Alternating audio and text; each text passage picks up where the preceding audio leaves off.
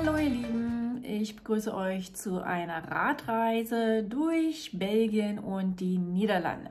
Das Ganze hat äh, im Sommer 2023 stattgefunden. Noch bevor ich angefangen habe, YouTube-Videos zu äh, machen, zu filmen, Deswegen sind es wieder größtenteils Fotos. Ich versuche euch wieder alles Wichtige in Form äh, dieser eingespielten Kommentare zu präsentieren und schreibe euch ein paar Sachen auch drunter.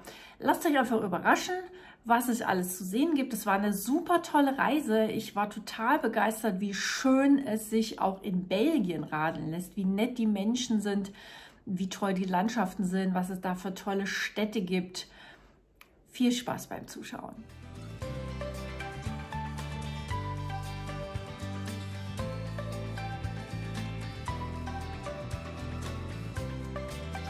Gestartet bin ich in Köln. Ich bin also mit dem Zug erstmal bis Köln gefahren. Und von Köln ging es dann erstmal in Richtung Westen. Übernachtet habe ich in Brühl an einem Badesee, dieser Campingplatz. Dort an dem Badesee äh, war praktisch diese Zelt, diese Zeltwiese war gleichzeitig die Badewiese. Abends wurde das dann alles abgeschlossen, die Leute wurden dann rausgejagt und so hatte ich dann abends schön diese See für mich alleine. Waren dann noch äh, ein paar andere Leute mit dort auf diesem Zeltplatz, aber ansonsten war das eine echt tolle Lage.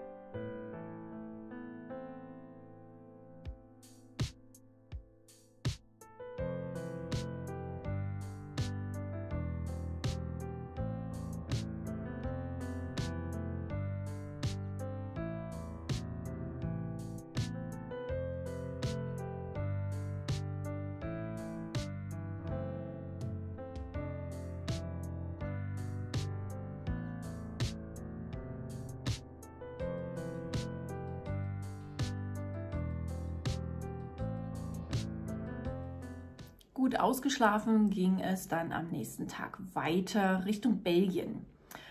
Äh, unterwegs habe ich mir irgendwo Erdbeeren gemopst vom Feld. Die waren nicht eingezäunt und so ein Händchen voll. Da dachte ich mir, ach okay, das sagt bestimmt keiner was. Und der ähm, große Stopp war dann in Aachen. Dort bin ich in eine Veranstaltung reingeraten. Das war äh, wie nannte sich das, irgendwas mit, mit Reliquien. Also man konnte dann diese heiligen Reliquien anschauen. Da war zum Beispiel auch das Lendentuch von Jesus Christus dabei. Das war so eine Wallfahrtsgeschichte und da war was los und äh, da gab es ganz viele Stände, wo man dann auch sich reinsetzen konnte. Da konnte man was trinken. Ich konnte dort meinen Akku nachladen. Das fand ich sehr schön. Und äh, Wasserbrunnen gab es überall. Die haben also dann also auch Hydranten geöffnet, damit man sich Wasser nehmen konnte. Und als ich dann weiterfahren wollte, hat mich die Polizei angehalten. Und da haben die geguckt, ob mein Rad geklaut ist. Oh, ich war eigentlich ziemlich genervt, weil ich eigentlich weiter wollte, weil ich wollte ja noch bis über die Grenze von Belgien und dort auf dem Campingplatz. Aber naja, die tun auch nur ihre Pflicht und da habe ich das dann über mich ergehen lassen und ich konnte es natürlich nicht nachweisen in dem Moment, dass es mein Rad ist irgendwie. Äh, hast ja da nichts dabei. Und die haben alles notiert, was da eben so zu notieren ist. Da gibt es irgendwo eine Rahmennummer und die haben die dann wohl auch in ihr System erfasst, äh, haben das registriert. Ja, und dann habe ich gesagt, ja, es steht ja hier noch dran, was es gekostet hat, wollten sie wissen. Und ach, was weiß ich nicht alles ja, auf jeden Fall durfte ich dann irgendwann weiterfahren und dann ging es weiter Richtung belgische Grenze.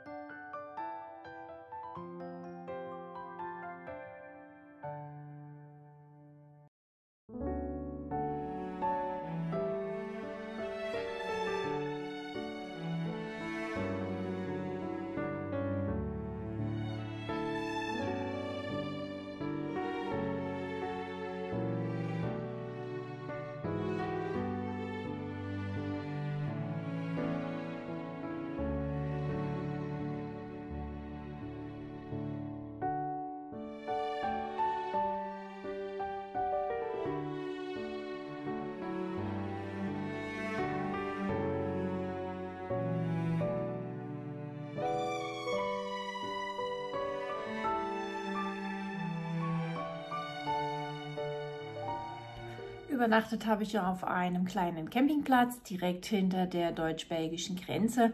Und das ist ja immer ganz spannend, wenn man über die Grenze fährt und auf einmal alles in einer anderen Sprache ist. Äh, das ist der flämische Teil von Belgien. Das heißt, die sprechen dort alle noch flämisch, verstehen auch größtenteils Deutsch. Das war für mich von der Verständigung nicht so schwierig, weil dieses Flämisch ja doch, ja, man versteht einfach, wenn die was erzählen. Das ist jetzt dem Deutschen gar nicht so fremd und mit ein bisschen guten Willen kann man das alles sich so mehr oder weniger herleiten und auch ähm, ja, das kommt auch in den Niederlanden dann noch ganz viel, dass man dann eben auch ganz süß diese Sprache hat. Ich finde dieses Flämisch total niedlich. Äh, also allein Feeds für Fahrräder finde ich total süß. Es ist so eine niedliche Sprache irgendwie. Ja, dort war ich auch nicht alleine auf dem Campingplatz. Da waren auch noch andere Radler. Aber Deutsche habe ich dann tatsächlich in Belgien äh, nicht mehr getroffen. Also das waren alles Mögliche an Nationalitäten, aber Deutsche waren da komischerweise nicht unterwegs. Weiter ging es am nächsten Tag durch die Provinz Flandern oder hinein in die Provinz Flandern. Das ist noch ziemlich hügelig am Anfang. Also der belgische Süden hat ziemlich viele Berge, denkt man eigentlich gar nicht, aber dort geht es ordentlich rauf und runter. Ja, irgendwann war ich dann in einem großen Fluss oder Kanal. Ich weiß gar nicht, ob es die Maas war oder was auch immer das war. Unterwegs gab es in so einem Wald so eine kleine Kapelle. Da war so dieser Kreuzweg äh, aufgebaut in diesen ganzen Stationen und drinnen waren ganz viele Kerzen. Das war richtig warm in dieser kleinen Kapelle, also furchtbar warm sogar. Übernachtet habe ich auf dem Campingplatz. Ich, konnte ich jetzt im Internet gar nicht mehr finden, wie der hieß. War dann an so einem kleinen See, aber der See war so flach, da konnte man gar nicht drin baden. Das war wirklich nur so ein, so ein Meter oder so. Weiter ging das gar nicht rein. Ich bin da eine ganze Weile reingelaufen. Hab's dann irgendwann sein lassen und habe mich da dann gemütlich vor mein Zelt gesetzt und habe den Abend ausklingen lassen. Ja, schöne gemütliche Tour an diesem Tag. Von Maastricht selber habe ich gar nicht so viel fotografiert. Ähm, ich bin durch viele so kleine, so schöne, beschauliche, typisch flandrische Städte durchgekommen, diese Architektur. Und auch diese Sprache finde ich total niedlich, dieses Flämisch. Also Viedstra zum Beispiel ist so ein ganz tolles Beispiel dafür. Hört sich viel, viel niedlicher an als Fahrradstraße. Und dort wird das auch alles sehr respektiert. Also das muss ich sagen, Fahrradfahren in Belgien ist eine ganz tolle Sache. Ähnlich wie in den Niederlanden. Also die nehmen sich da gar nichts. Total super ausgebautes Radwegenetz. Wirklich, wirklich empfehlenswert.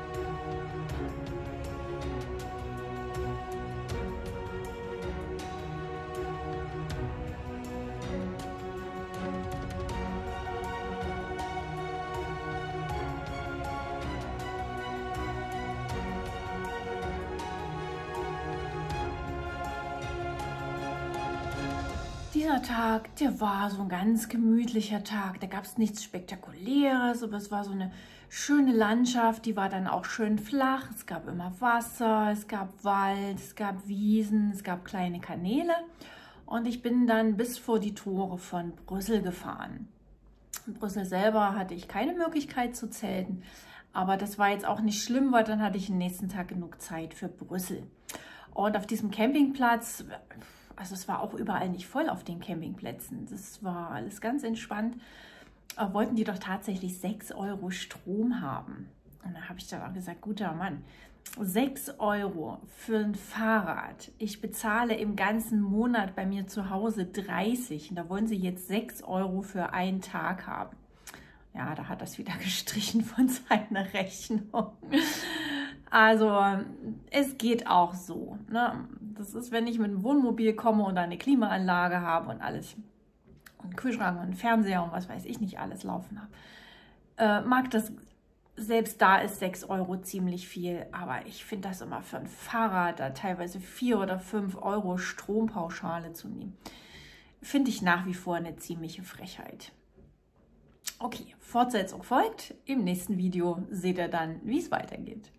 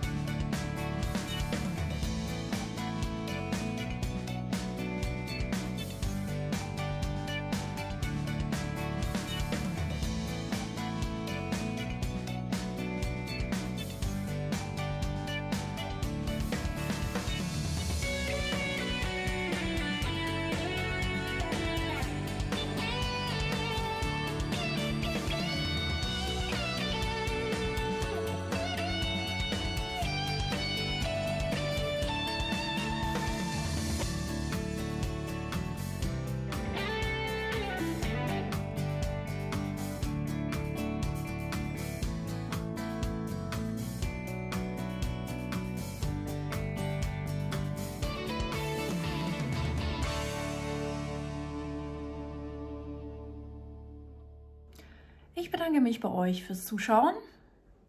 Habt eine schöne Zeit, bleibt gesund und bis zum nächsten Mal. Tschüss.